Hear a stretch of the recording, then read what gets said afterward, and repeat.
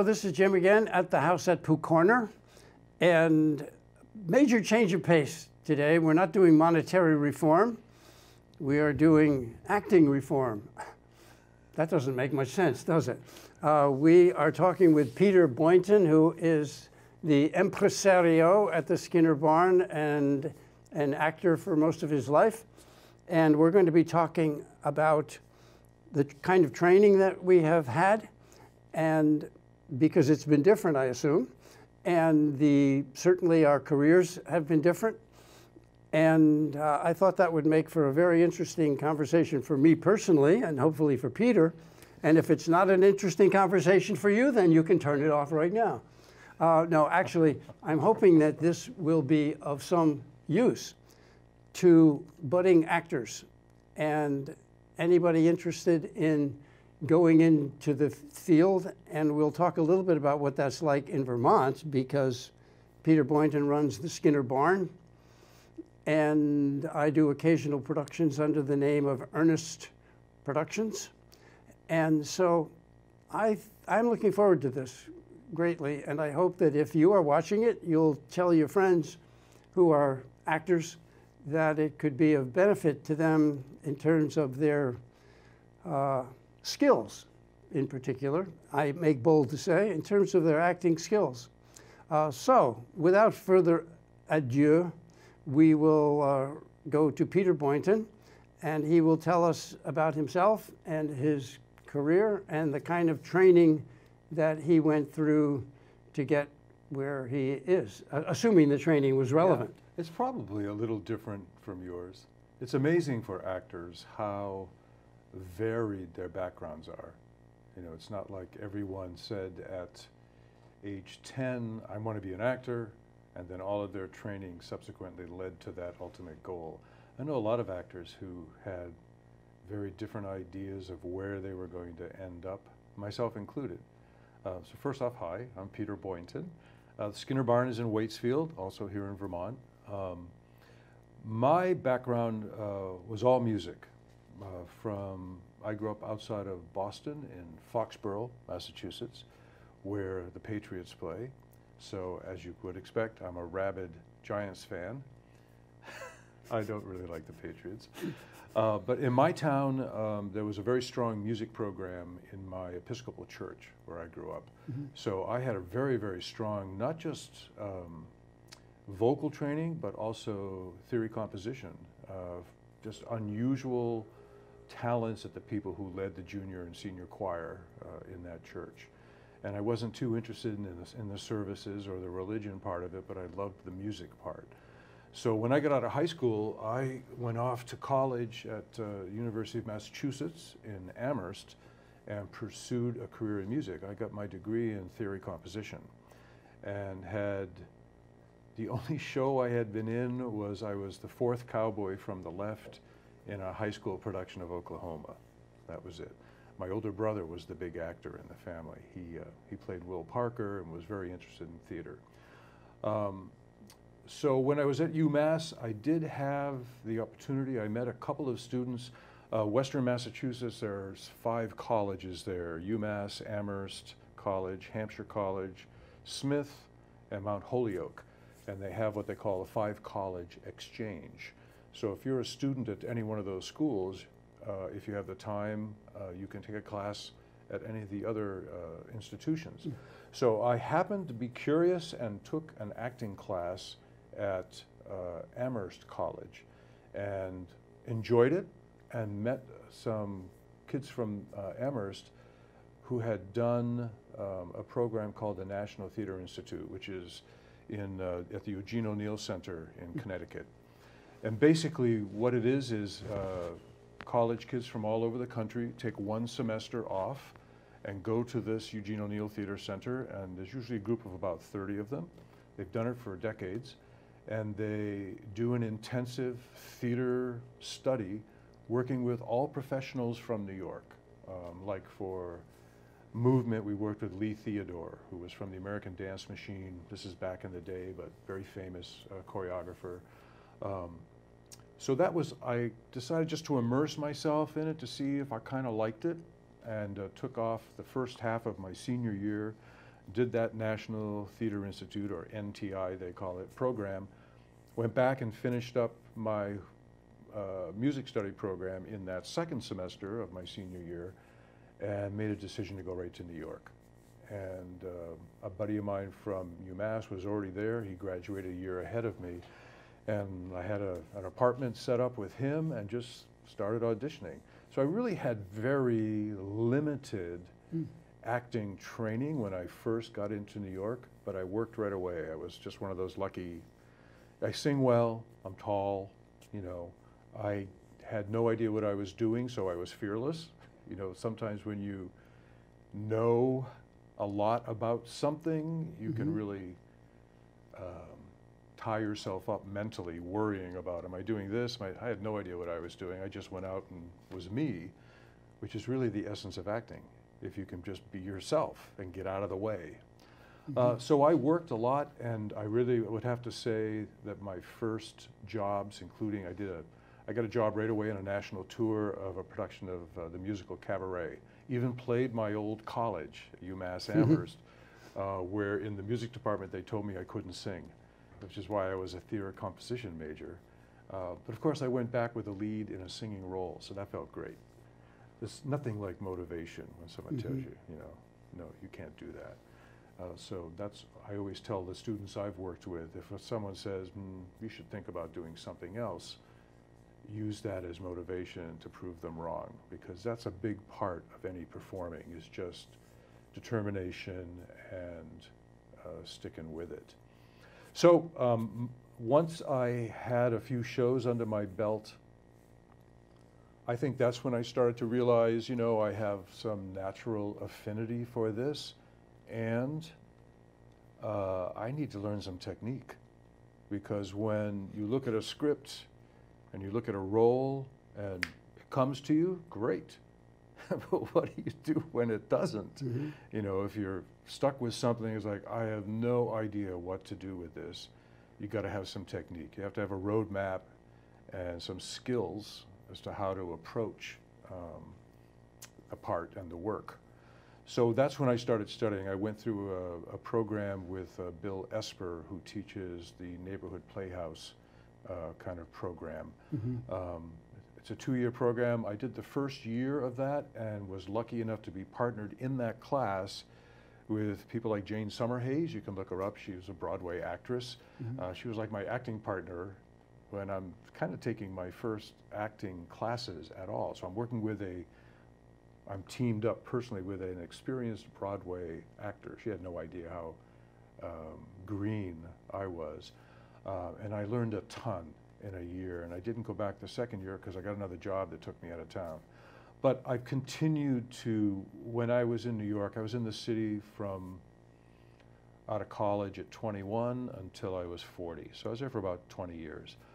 And all the way until my last show in New York, which was a two-year Broadway run of She Loves Me, if I was between shows um, or I wasn't doing television work, which I did a fair amount of soap opera work, I was taking classes just because I enjoyed it and it is definitely not a, I've learned it, I'm done, kind of, you know. It's a lifelong, uh, if you're in the performing arts, it's a lifelong um, learning experience, mm -hmm. I mm-hmm. think, you know. Oh, yeah. Uh, I mean, I'm in my mid 60s now, and I'm just starting to go, ah, about certain ways to mm -hmm. work or certain things about myself that I go, why do I do that? Or what is that coming from? Or how could I bring that to a part, you know, mm -hmm. to a role? Um, so that's my basic background. I ended up, I had a nice career in New York. I always worked, I did a lot of um, regional theater at LORT Theaters, League of Regional Theater, mm-hmm. LORT. Mm -hmm. um, I got to do new productions and get in the Samuel French, you know, first edition, this role first played by. I did some shows at um, the Actors Theater of Louisville, uh, which was awesome. But I got to go around the country doing regional theater and doing uh, national touring, so it's a great way to see the country um, as you're working. And uh, when I made a choice not to go out of town anymore, that's when I started to get more work in New York, mm -hmm. uh, which, you know, off-Broadway, Broadway, and eventually I said to my agent, I think I was about 27, and I said, okay, this is great, I work all the time, but I have friends not in the industry who can look ahead and say, hmm, I could get married, I could buy a house, I could have a car, all the sort of things that even as a working actor, you know, you don't make much money. Mm. I mean, Broadway today, today, these dollars, which is way more than when I was there, it's about $1,900 a week, I think, for equity minimum for a Broadway contract. $1,900 gross before taxes, et cetera, is nothing if you're living in New York or the New York area, whether mm you're in Queens or Brooklyn or Manhattan. Um, so most actors either have a, in the city, mm -hmm. pursuing a professional career, either have a very lean lifestyle um, or a partner who makes money, perhaps, and mm-hmm. supports mm -hmm. their artistic endeavors, uh, or and or they're doing many things beyond just theater to make a living. Uh, I always laugh because I did a lot of bartending between jobs when mm -hmm. I was mm-hmm. first in the city. And I can remember the first time I got a gig at Actors Theater Louisville, which everyone wanted because it's a great credit on your resume. A lot of shows came out of there and moved to New York. Um, so it's a well-respected theater. And I couldn't wait sometimes to finish what I was doing there and get back to New York because I made a lot more money bartending. Hmm. so um, it's an interesting profession. You know, yeah. I don't really know your whole arc. You know, uh, for no. me it was, it was just pretty much either television. I did some film work and theater work, until my, until I was basically 40, and then I came up here with my daughter to raise my family here. Uh, and of course, in Vermont, uh, you're, it's pretty unlikely someone's going to piece together a professional career of trying to work full time as an actor. There's just not enough opportunities no. nor enough funds. You know, mm -hmm. uh, there are there are opportunities to work, but not to string them together and make a living unless mm -hmm. you're mm-hmm. teaching or doing some other career and can carve out time for either community theater or the very few professional theater mm -hmm. opportunities in Vermont. They are there, mm -hmm. you know. Um, so I don't really know. What? Tell me your art. Well, no, and I didn't know yours, and you didn't know mine. And there's something that I, before I forget, there are two things that I learned personally that I learned much later than you did. What? And one was allowing yourself to shine through the, the character. Yeah. I was always um, afraid of that. Yeah. I thought that it was it was better to shut that person down and mm. come up with something else. Not consciously. Yeah. But I was just subconsciously doing that. And then a fellow actor said to me, you're, you're not putting yourself. I was 40 probably. Okay. When he said this to me. Okay. Or about that. And I, it, it, it, you know, sometimes you hear information and hear it and hear it and hear it, and it just doesn't sink in. Yeah. But it, I was right to hear that at that time. And you've seen me since. It's like me, no yeah. matter what I layer on. Well, no so Jim has done a few shows at the Skinner Barn. Yes. And uh, you were the old actor for us one year, weren't you, too, in the Fantasticks? At least one year, I think twice. Twice yeah. I was the old for the, actor. For the Fantasticks, and uh, you played the lead grave digger. The Shakespearean actor. In, uh, the, in, in, the Fantasticks, yeah. but also is, uh, Mystery of Edwin Drood was yes. our grave digger. Mm -hmm. Did you do other shows beyond, what have you done beyond those three? Yeah. Have you done the, something um, with us? The one where I fell off the roof. Oh, uh, Man, Man of, La Mancha. Right, right, right, right. It's a great show. Mm -hmm. So it's interesting what you said about learning to bring yourself to it because what I enjoy about you is you have, you certainly have learned since in the time I've known you, you mm -hmm. had mm-hmm. already learned uh, that you are very, you have a very specific personality. And I have always felt that that does come out in your performance, mm -hmm. which is what makes you interesting. Mm -hmm. um, the hardest thing for younger actors, they overcomplicate it. You know, it's like you get a script and you look at the part and younger actors are usually trying to put on sort of the wardrobe of that part separately from themselves, mm -hmm. as opposed to just saying, how do I feel about that? How do I, Peter, Mhm. or I, Jim, feel about that? You know, and what would that mean to me? And if it's close to your life, which is when it's easy, Mhm. I was talking about technique earlier. Mhm. If it's close to your own experiences, it's usually really easy. Yeah. You just let it go. Oh, I know what that feels like. I can I can step into this character, but it's still you, and you're drawing from your own experience. Mhm. When you have something that is completely alien Mhm. to your experience, that's when it really gets dicey.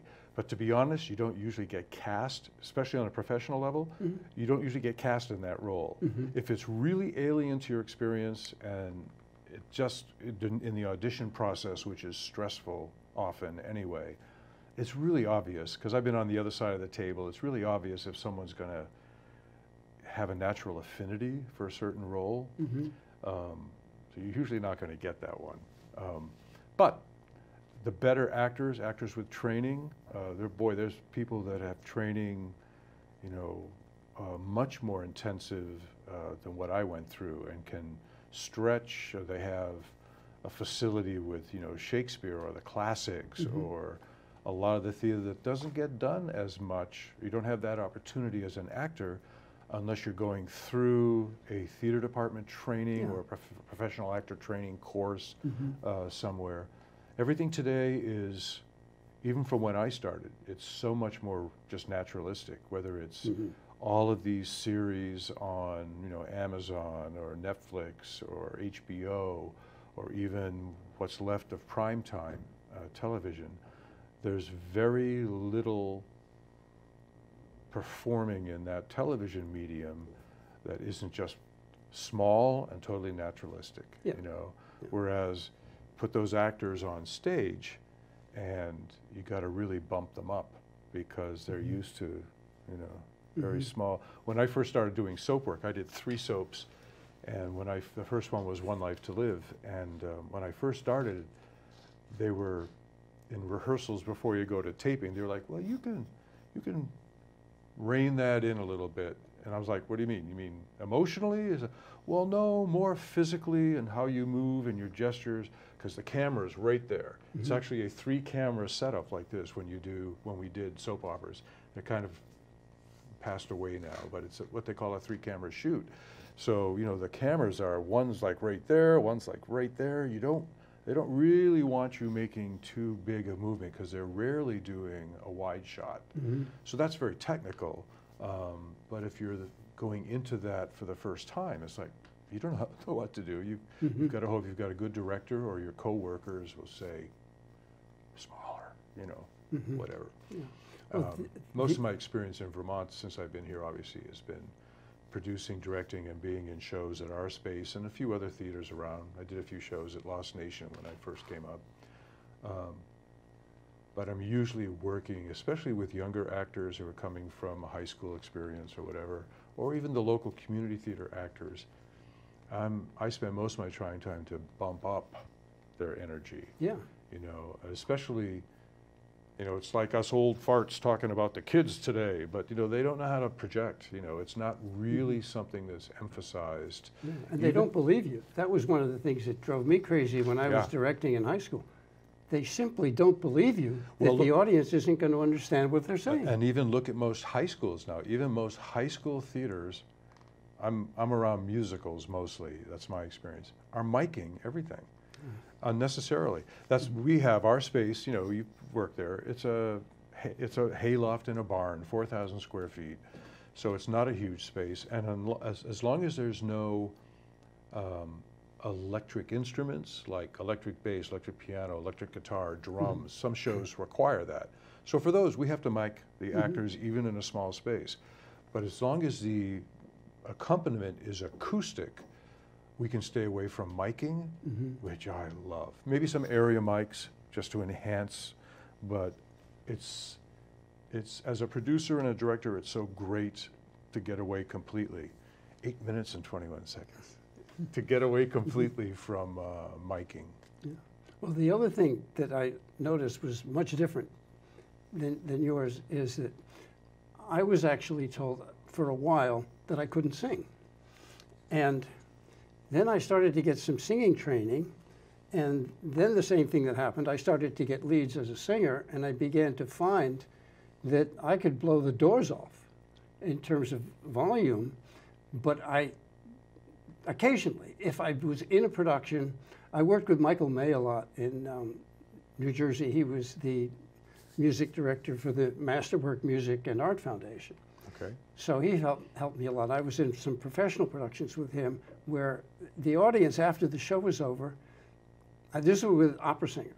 And he said, Well, there was you and there was then everybody else because my voice had become something that I had no idea Yeah. that it could ever become before. So that was like a, a revelation to me that I had to be told, like over and over again, that yes, you can you can do that. Yeah. After being told you couldn't. Yes, after being told that it just wasn't, you know.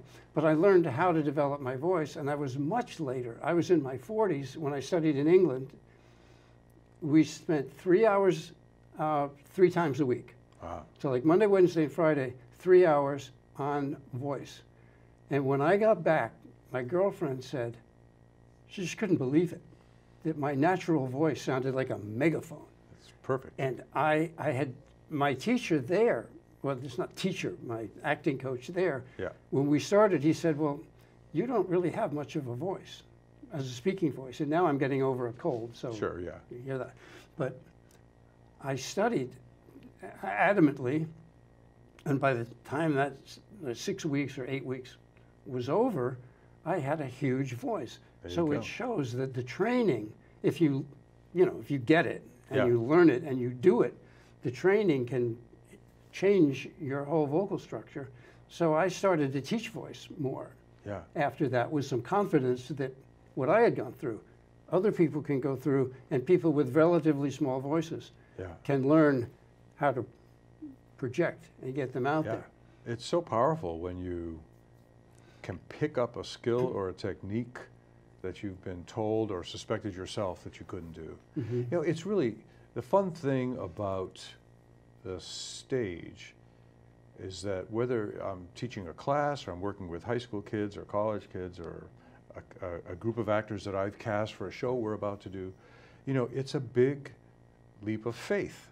You know, it's it's a real. Um, on one hand, it's the cliche of like a sports team, where you know you really have to have each other's back, and you're really only as strong as the weakest link. You know, all those things, those cliches around teams and sports, are equally true for um, a theatrical production. To use that specifically, but even more than that, the fact that you're going to um, reveal yourself if you do get comfortable letting your personality be uh, shown in front of other people. Uh, to some people, it's amazing what we do. And I understand that as I get older, because uh, as you meet more people in life and you're in more circumstances, you realize how unusual that is. Actors are a very interesting demographic, you know, and they're in many ways uh, much more interesting. Yeah. in just it's it's like anything you know if you have you know if you go to a dinner party and there's one person at the table who just is so comfortable and they tell great jokes and the whole place laughs you know that's the natural storyteller in that group. Same thing with your family you know there's someone who's usually maybe the kind of the the storyteller entertainer performer in your little family nucleus nucleus um, it's like that's those are the people that drift towards other people that are also comfortable doing that and it's interesting when you put them all together you know i don't know Well, we have a mutual friend. I, she'd probably like it if we said her name, but it, maybe she won't. And she was comparing you and me because she knew us both quite well. do i know who this is Oh, yeah. Okay. You know her very well. And she said, Jim, you wrestle a part to the ground. Peter is, it's easier for him. He- Okay. He can grab it and, and just do it. And um, they said that about Olivier, too. Hmm. Olivier did not just grab a part and run with it. He put on false teeth and he put on makeup and he put on costumes and he experimented. And that's what I do. I Yeah. experiment Sure. with the character, lots of different voices, different physical things, and I sometimes I just can't get it. I can't get it, and then it'll come. Yeah. And with Drood, I sensed from the beginning that I, I just wanted to do Michael Caine. Yeah. And I got him down cold, listening and practicing and listening and practicing. And that's why those people came up to you. You told me one day and uh, who were English. And she said, well, he's English. You know, everyone else thought was American, but you've got a, an Englishman in your, in your cast. And that's hard work. Yeah. That's, that's not something I just, oh, I'm going to do Michael Caine today. It's very difficult wrestling the part to the ground I get it. bit by bit. To a point wrestling. You know, there's the great Yeah. uh, Marathon Man, the film. So everyone knows this story, but Yeah. maybe young people don't know this story. But there's a famous industry story. Mm-hmm. Uh, Olivier plays the older villain. The dentist, right? The dentist. Well, he's a dentist and Nazi. You know, it's Yeah. a terrible villain. Right. And Dustin Hoffman plays the young hero, Mm-hmm. and he's been abducted. Yeah. And Laurence Olivier's character is torturing him, drilling through his teeth without Novocaine. You know, it's Mm-hmm. terrible. So to prepare for that scene, this is the difference between. Um, Olivier talked about as the difference between sort of a British approach, Mm-hmm. Which is working outside in, mm-hmm. and the method approach of Americans developed at Uta Hagen and all those people in New York, mm-hmm. where it's all interior working its way out. And both styles can work. But in this particular example, Dustin Hoffman had to do this scene where he's getting his tooth drilled. And to prepare for it, he didn't sleep for like three days. He got a cold, and he was physically a mess when they went to shoot it. And uh, they had multiple takes of the scene and couldn't get through it. Yeah. And Olivier looked at Hoffman and said something to the effect of, My dear boy, why don't you try acting? I don't remember that part of the story. Yeah. But uh, And I- that was I- the point was, you know, you don't have to actually, it's like Jake LaMotta, De Niro gaining 60 pounds and injuring his health to play the role. That's quite a commitment, and that's amazing. 32 seconds, just so you know. Oh my God. Okay. And- well, thank you. Uh, we will continue this conversation. Uh, thank you very much for spending a half hour with us, if you have made it. And um, this is Jim Hogue, House of Pooh Corner. We have been speaking with Peter Boynton, and uh, I'll go further on with uh, some of my training, and we'll see where that goes. So thanks again for listening, and uh, we'll see you right away. Thank you.